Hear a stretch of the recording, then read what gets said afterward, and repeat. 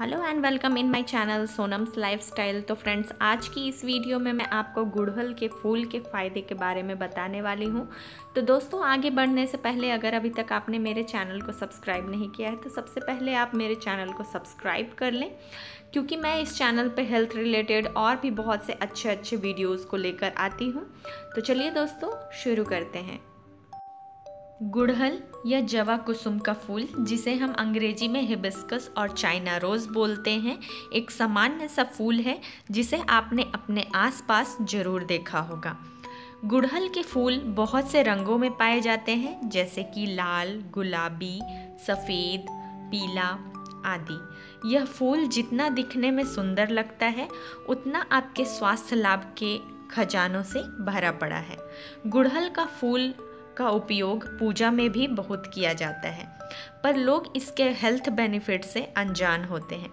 हमारे भारत देश में गुड़हल का फूल बहुत प्रचलित है।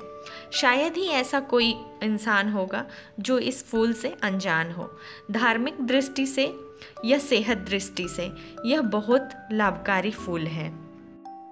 गुड़हल का फूल कैल्शियम, फाइबर, आयरन और विटामिन सी का अच्छा सोर्स है, जो हमारे शरीर के लिए आवश्यक पोषक तत्व हैं। तो चलिए गुड़हल के फूल के फायदों के बारे में जानते हैं।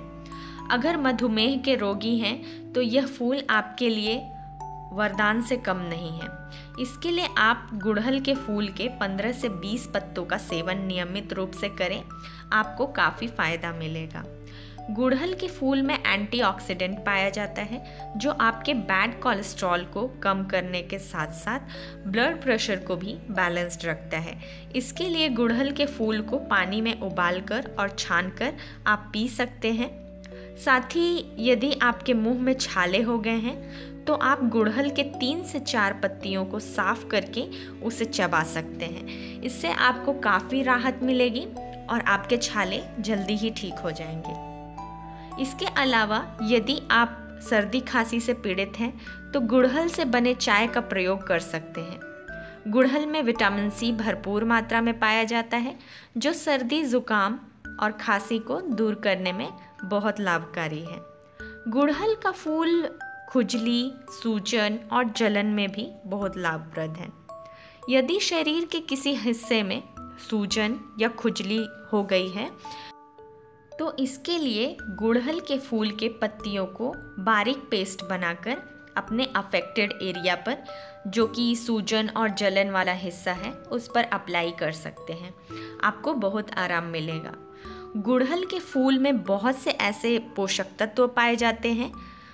इसलिए इसका इस्तेमाल बहुत से दवाइयों में भी किया जाता है और यह एक तरह से आयुर्वेदिक औषधि भी है।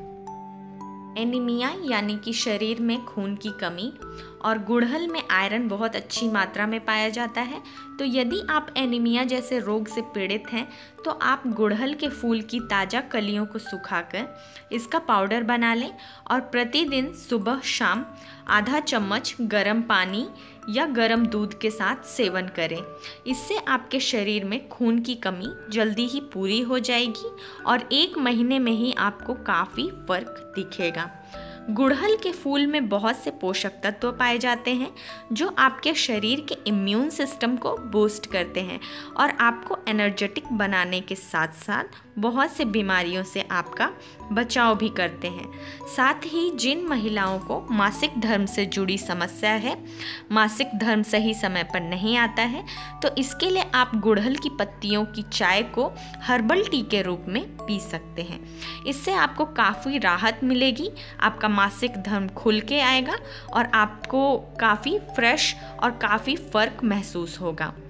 गुड़हल के फूल आपके मेमोरी पावर को बढ़ाने में भी अहम भूमिका निभाते हैं। इसके लिए आप गुड़हल की आठ से दस फूल या आठ से दस पत्तियाँ लें और साफ़ करके सुखा लें और बारीक पाउडर बना लें। और नियमित रूप से सुबह, शाम आधा चम्मच, एक ग्लास गर्म पानी या एक ग्लास गर्म दूध के साथ इसका सेवन करें। इससे आपको एक महीने के अंदर फ़र्क दिखेगा।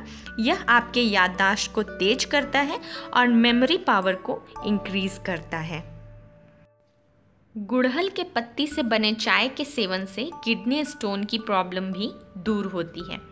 गुड़हल के फूल में विटामिन सी, मिनरल्स और एंटीऑक्सीडेंट पाया जाता है और पौष्टिक तत्व पाया जाता है जो कि सांस संबंधित परेशानियों को दूर करने की क्षमता रखते हैं। साथ ही यह कफ विनाशक भी है। इसके लिए आप गुड़हल से बने चाय का उपयोग भी कर सकते हैं। अगर आपको बाल झड़ने की समस्या है क्योंकि बाल झड़ने की समस्या आजकल सभी की समस्या बन गई है और इस समस्या से निजात दिलाने में गुड़हल आपकी बहुत मदद कर सकता है। इसके फूल से केश तेल भी तैयार किया जाता है। यह न सिर्फ़ आपके बालों का झड़ना रोकते हैं, बल्कि आपके बालों को मज़बूत हेल्दियर शाइनियर और सिल्की भी बनाते हैं। इसके लिए आप गुड़हल के आठ से दस फूल लें और अच्छे से पीसकर अपने स्कैल्प पर लगाएँ और सूखने के बाद इसे धो लें। आप फूल के जगह पत्तियों के पेस्ट का भी उपयोग कर सकते हैं। या आप फूल को पानी में उबालकर उस पानी से अपने बालों को भी धो सकते हैं। इसके उपयोग से आपके बालों की अच्छी ग्रोथ होगी और यह अंदर से स्ट्रॉन्ग बनेंगे और आपके बालों की जो वॉल्यूम है वो भी बढ़ेगी। गुड़हल में एंटीऑक्सीडेंट विटामिन सी, आयरन पाया जाता है, जो आपके स्किन रिलेटेड प्रॉब्लम्स को दूर करने के लिए एक अचूक और आयुर्वेदिक औषधि है। यह आपके स्किन रिलेटेड प्रॉब्लम्स जैसे कि दाग, धब्बे pimple wrinkles pigmentations dryness acne sunburn आदि को दूर करता है और आपके चेहरे को जवान हेल्दी और ग्लोइंग बनाता है।